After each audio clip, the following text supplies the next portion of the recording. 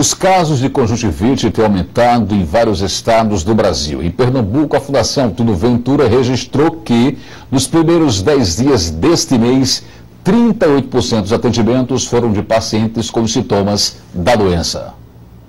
Ceira, vermelhidão nos olhos, junto com lacrimejamento e pálpebras inchadas, estão entre os principais sintomas da conjuntivite, que é uma inflamação da membrana externa do globo ocular, que é a parte branca dos olhos e da parte inferior das pálpebras. Já no primeiro dia, a partir dos primeiros sintomas, a recomendação é que o paciente procure uma unidade de emergência oftalmológica e tome medidas para evitar a transmissão da doença. Geralmente é através do contato direto, né? Então as pessoas com conjuntivite a gente sempre orienta para separar lençol, toalha, travesseiro, então tudo que for de contato mais íntimo porque, é, como a gente sabe, é muito fácil essa transmissão. A prevenção, é, através de lavar as mãos, principalmente, e todas, todas essas medidas, é a melhor forma, a melhor arma para combate, para que evite os surtos realmente da conjuntivite. Os casos de conjuntivite correspondem a 40% dos atendimentos em uma emergência oftalmológica e tendem a se espalhar com mais facilidade com a chegada do período mais quente. Aqui na Fundação Altino Ventura, 38% dos atendimentos realizados nos 10 primeiros dias do mês de outubro foram de pacientes com a inflamação. Isso corresponde a 1.705 casos de conjuntivite, dentre os 4.457 atendimentos entre os dias 1 e 10 de outubro. A maioria dos casos é do tipo viral e isso influencia na gravidade da doença. E quanto à etiologia, né, que é a causa da conjuntivite, é, 95% dessas conjuntivites são virais, tá?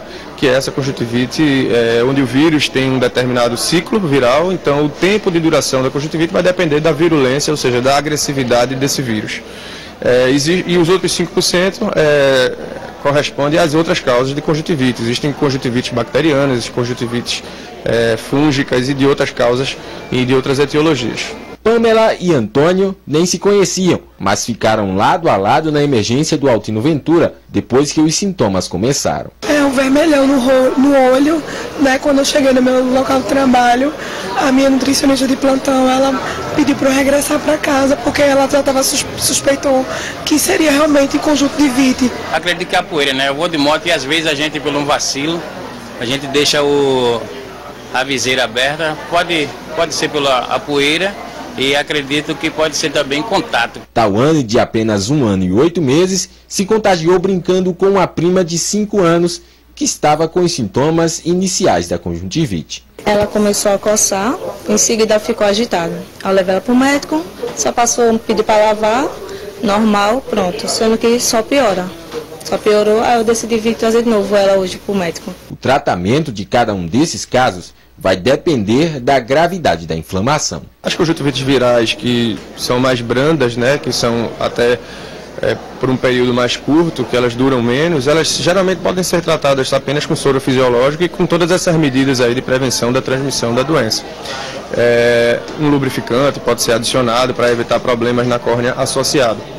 Agora, conjuntivites mais graves que tem fatores complicadores envolvidos e tem que ser realmente feito um tratamento diferenciado, com colírios específicos para isso. O ideal é, é sempre ser avaliado por um oftalmologista de preferência.